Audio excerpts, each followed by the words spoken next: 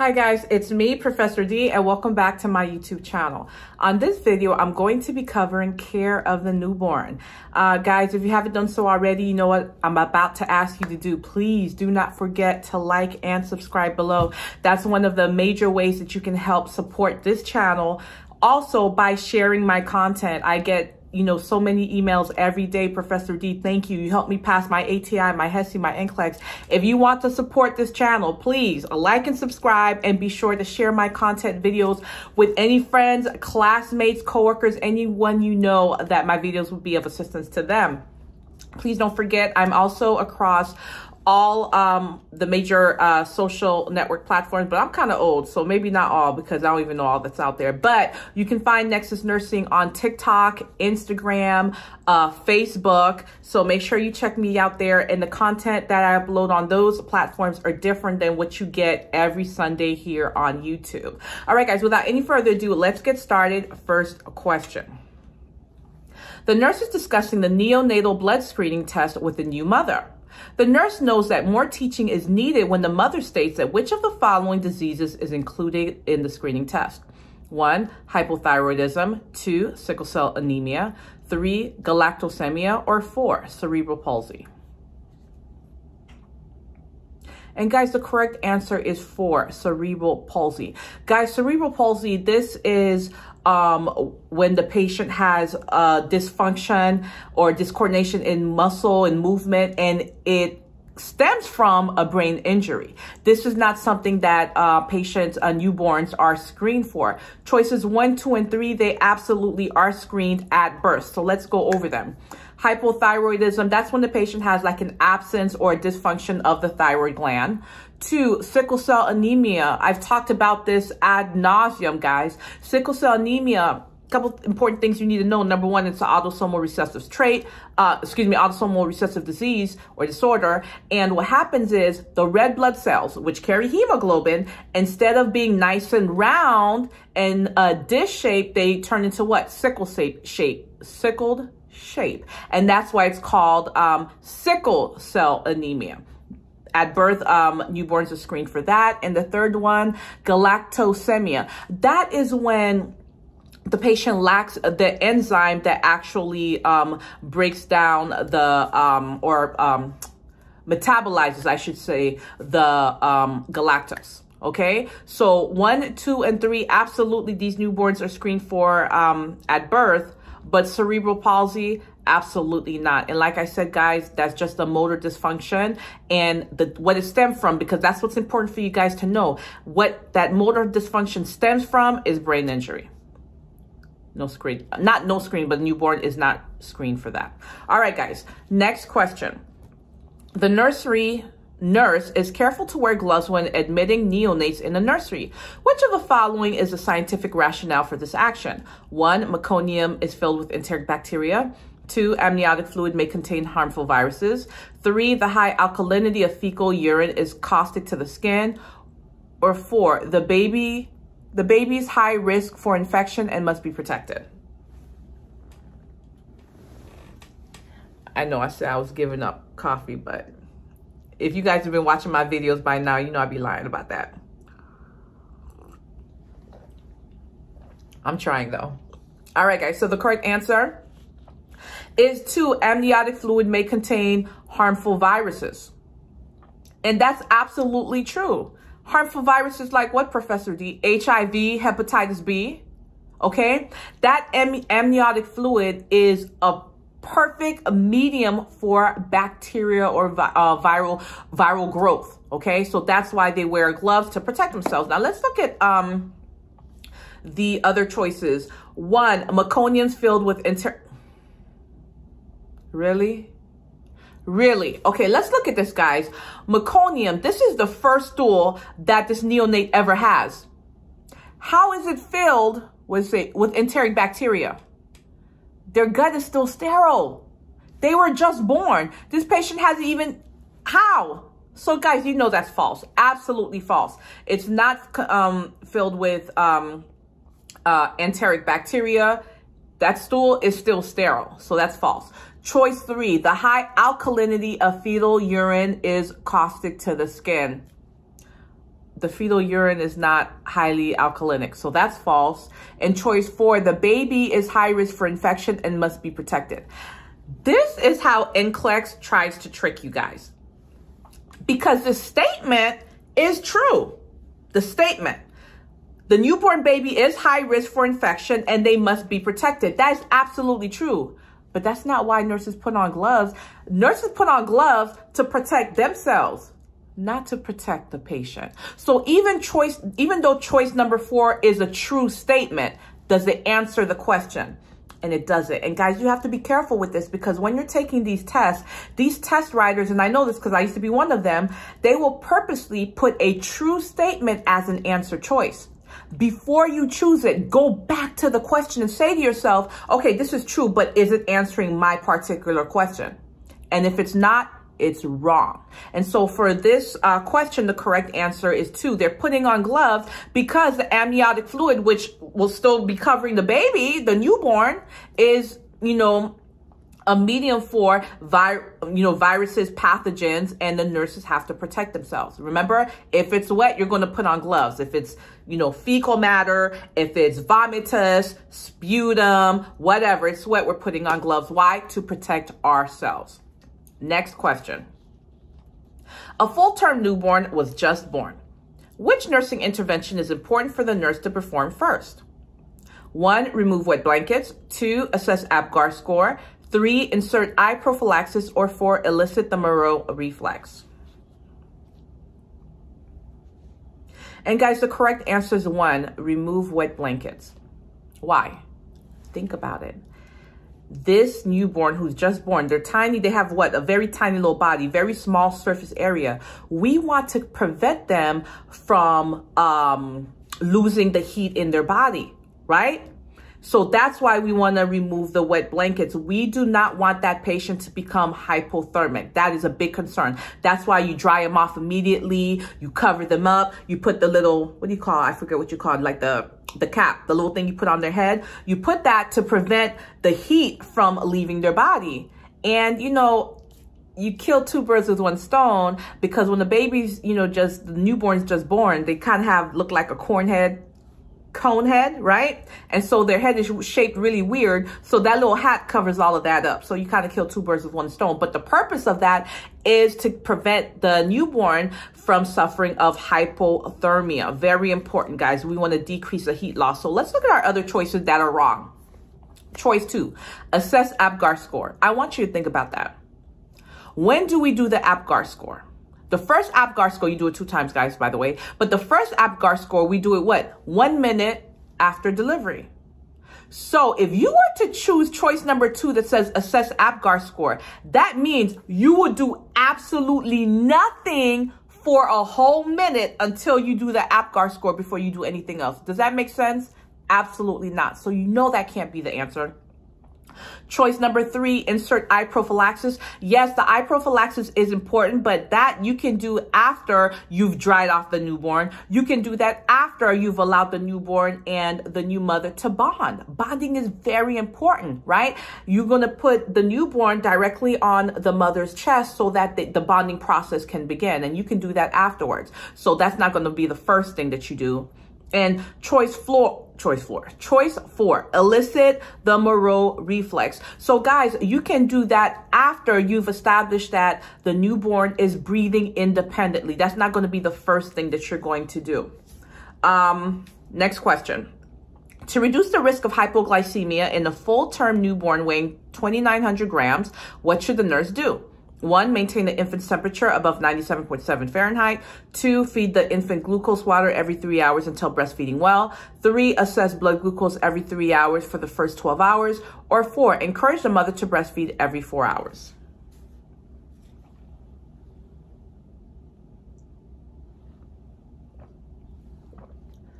Okay, guys, and the correct answer is one, Maintain the infant's temperature above 97.7. Why? I talked to you about this already. One of the biggest things with a newborn is what? Preventing hypothermia. Very, very important. Why? We don't want to cause uh, the newborn to have cold stress syndrome. Why would cold stress syndrome be a concern to us? Go back to the question. In the question, what is it saying? To reduce the risk of hypoglycemia, which means the blood sugar going too low. What does cold stress syndrome, keeping the patient warm, and hypoglycemia, what do they all have in common? I want you to think about it because this is how the critical thinking works, guys. We know that the more you move about, right? The more energy you're using, the more calories you're burning, the more your metabolism is increasing, and the lower your blood sugar goes, right? Okay. So if you have a newborn, they were just delivered. They're newborn. They don't know how to shiver yet, right? They're newborn. They're cold. They have cold stress syndrome. Their body's trying to keep them warm in the effort of trying to keep them warm, guess what's going to go down? The blood sugar. We want to prevent hypoglycemia. So we want to make sure that we keep them warm so they don't have cold stress syndrome. So it's like a domino effect. So it doesn't decrease the patient's blood glucose. So that is the correct answer. Now let's look at our other choices. We have choice two. Feed the infant glucose water every three hours until breastfeeding. Okay, guys, we're not giving the patient glucose water that patient is either going to get breast milk or formula, but we're not going to give them glucose water. So that definitely is not the answer. Choice um, three, assess the blood glucose every three hours for the first 12 hours. That's not necessary. That's it's just not. You have choice four, encourage your mother to breastfeed every four hours. Um, that's too far apart. This is a newborn. They're going to be hungry. You want to feed that um, newborn about every two to three hours. Every four hours, that's not enough.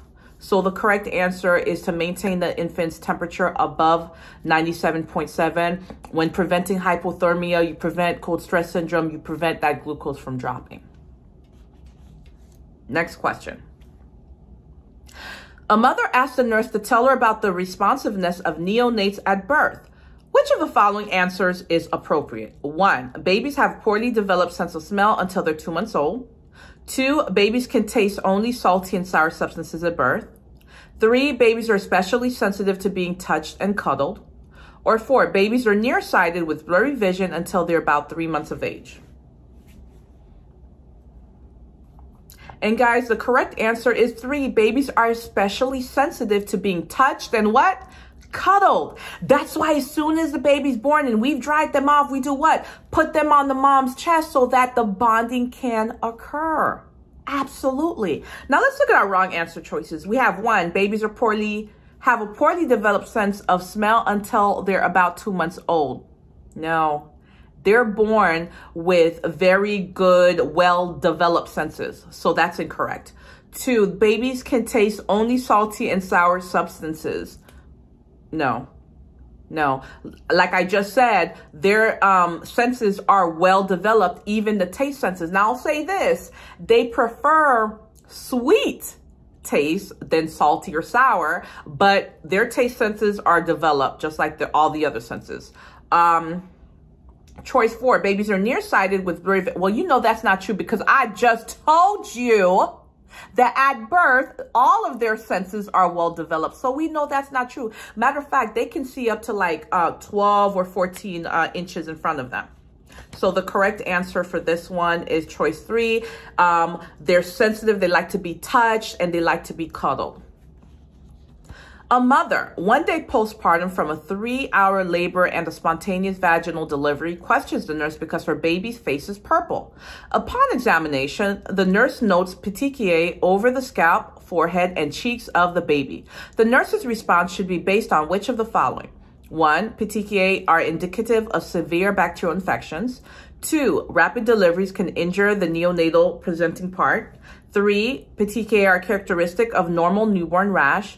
Or four, the injuries are a sign that the child has been abused. And guys, the correct answer is two. Rapid deliveries can injure the neonatal presenting part. That's absolutely true. How do we know, how do we know that this was a rapid delivery? Go back to the question. It says, three hour labor. Mom was only in labor for three hours. This was a rapid delivery. So what is this petit petechiae we keep seeing? What is that? Those are bruising. Yeah.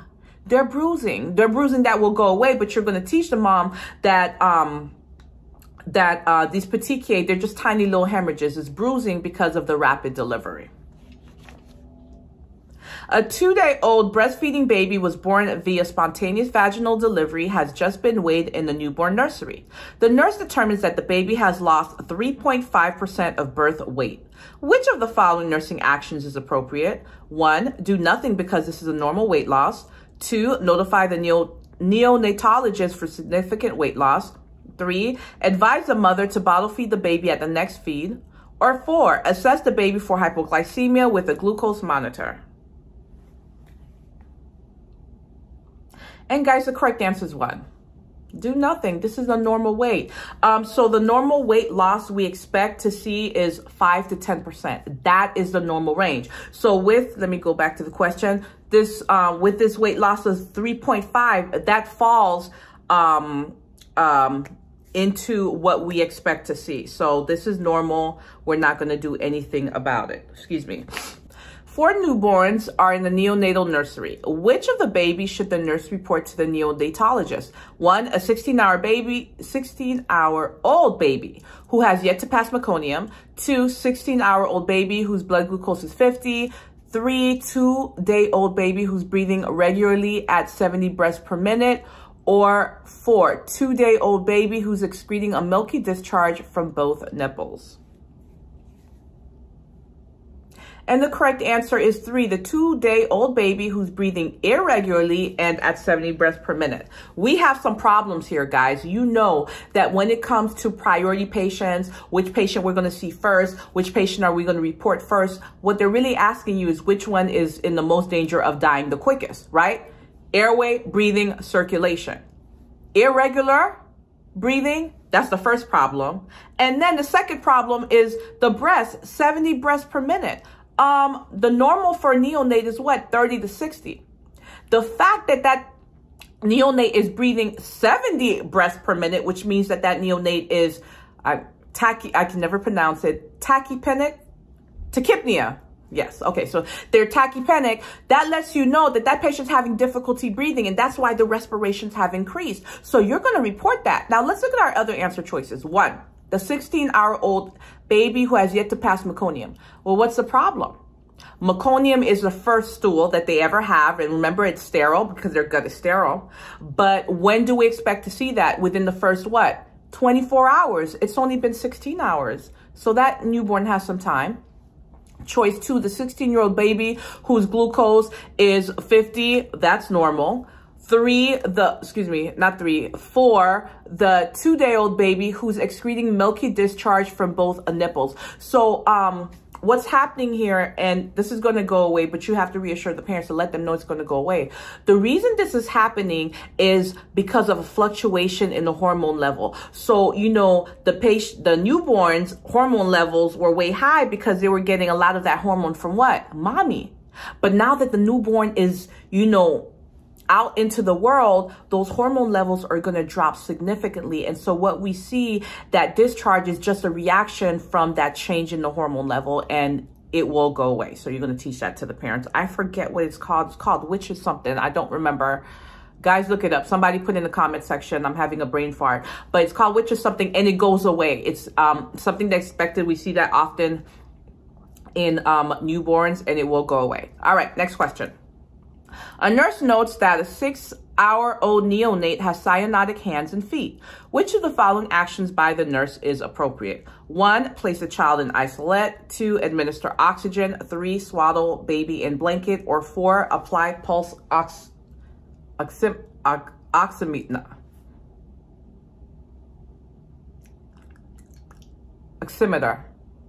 I'm sorry, guys. In my defense, English is my third language, so don't be too hard on me, guys. All right, so the correct answer is three, swaddle baby in blanket. So here's why. So the patient's extremity is cold, right? When you swaddle the baby, you're doing what? Warming the baby. What happens when you warm them? You're increasing circulation. That is the purpose. So that's why you're going to swaddle them in a blanket. You're going to warm them up and that will increase circulation. Next question. A couple's asking the nurse whether or not their son should be circumcised. On which fact should the nurse's response be based? One, boys should be circumcised in order for them to establish positive self-image. Two, boys should not be circumcised because there's no medical rationale for the procedure. Three, experts from the CDC and prevention argue that circumcision is desirable. Or four, a statement from the American Academy of Pediatrics asserts that circumcision is optional. And guys, the only one that can be the correct answer here is four. Statement from the American Academy of Pediatrics asserts that circumcision is optional. Remember, guys, whenever a patient asks you for your opinion, do you ever give your opinion?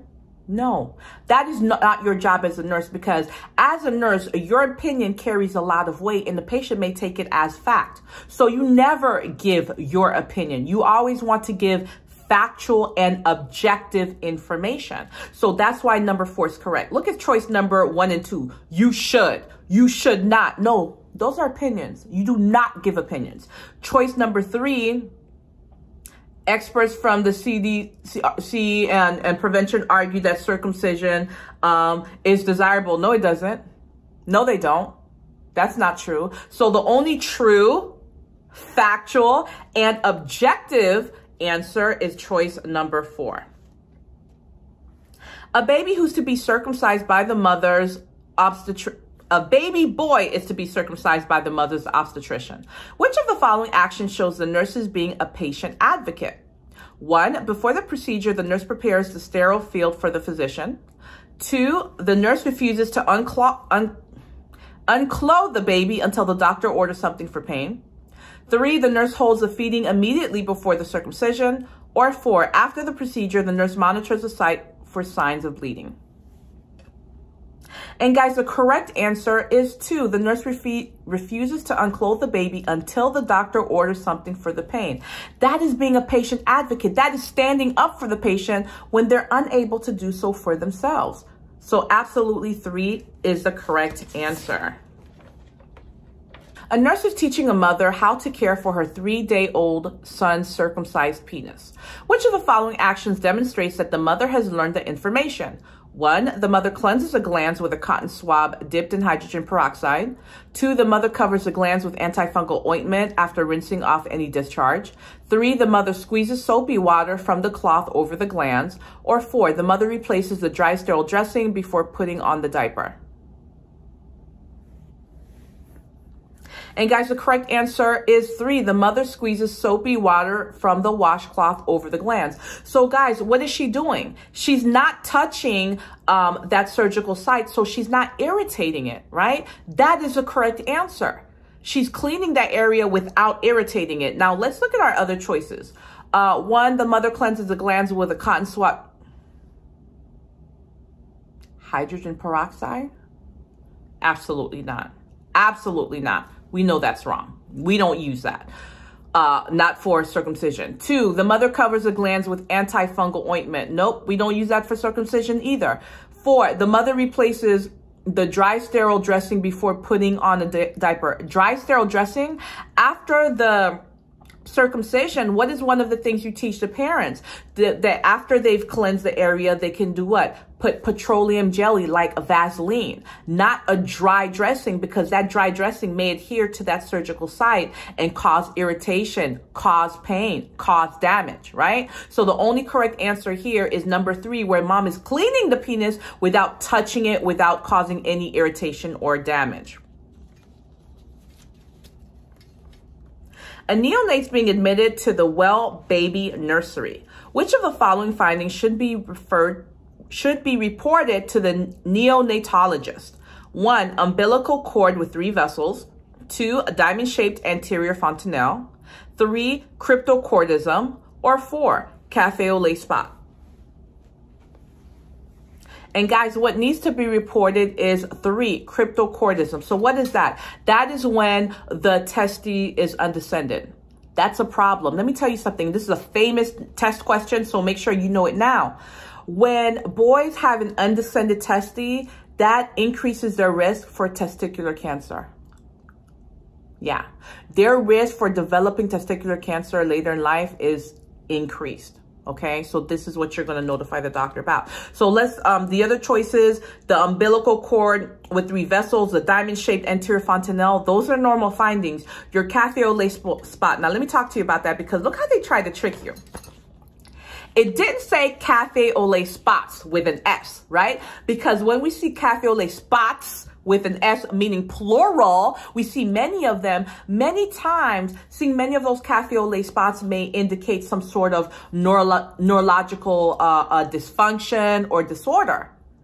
But it said lait spot as in singular, right? Are we concerned about that? No, that one spot is going to go away on its own. So what we're concerned about is that undescended testes, your cryptorchidism. A female African-American baby's been admitted into the nursery. Which of the following physiological findings would the nurse assess as normal? Select all that applies. All right, guys. How do we treat select all that applies as what? True or false? Let's go. One, purple colored patches on the buttocks and torso. True. We, we, we expect to see that. That's a normal finding. What are those? Mongolian spots. And what you're going to do is teach the parents that they're going to go away. They will eventually fade. Choice two, bilateral, oh, uh, bilateral whitish discharge from the, uh, from the breast, witch's milk. For the life of me, I couldn't remember what it's called, witch's milk. So this is when we see, I talked to you about that that um, milk, uh, that whitish discharge from the breast. And what happened, the reason the child has this is because um, the hormone level that they had from the mom when they were in the womb has significantly de decreased. And so that uh, a discharge that we see is a reaction from that. It's going to go away. It's temporary. You're going to teach the patient, you're going to teach the parents that, witch's milk. That's what it's called. Um, choice three, a bloody discharge from the vagina. True. As distressing as this is to the parents, especially in African American babies, um, this is a normal finding. This is called pseudo uh, menses. Pseudo meaning fake, false. Menses, you know what menses is. Your your period, right? So a false period. Um, this is expected finding. And again, the same reason we see the witch's milk is the same reason we see the pseudomenses because of the change in the hormones. So you're going to, as distressing as it is to the parents, let them know this is expected finding. It's going to go away on its own. It's temporary. Choice four, sharp, sharply demarcated dark area around the face. False. What's that? Your port wine stain, right? And that is not temporary. That's going to be permanent. That's going to be forever. All right.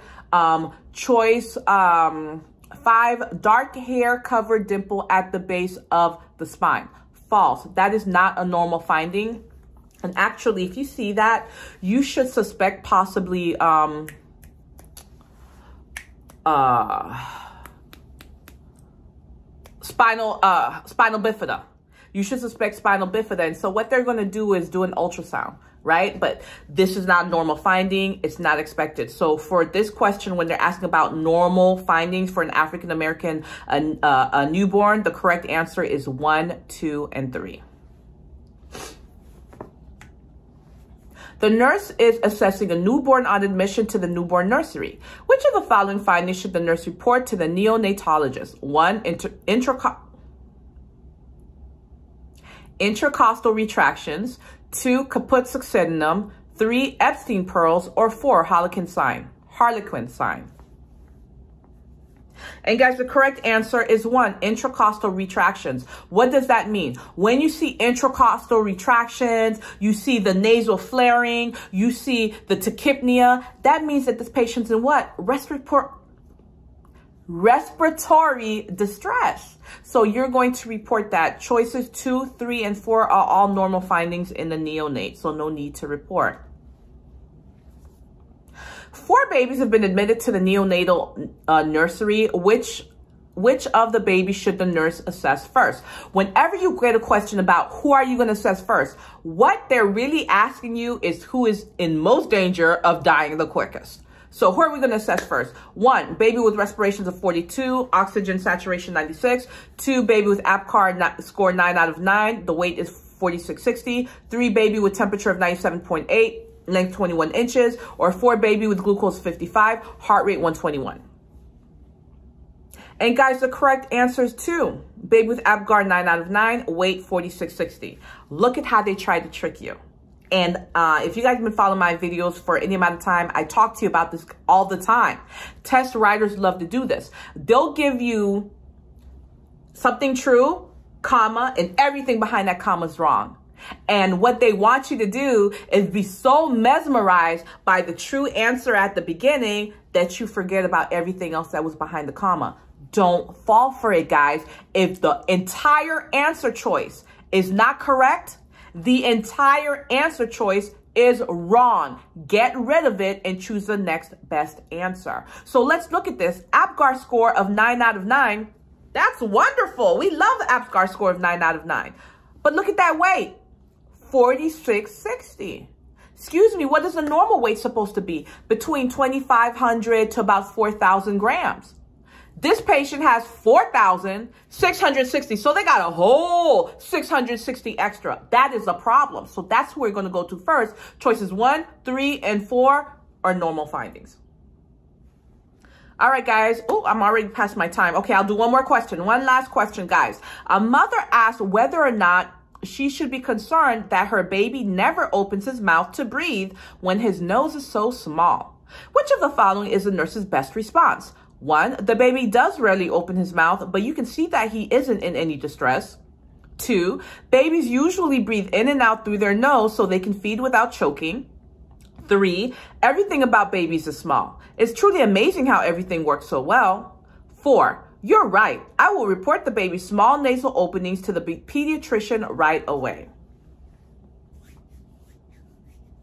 Okay, guys, and the correct answer is two. Babies usually breathe in and out through their noses so they can feed without choking. Guys, how else are they to suck, swallow, breathe?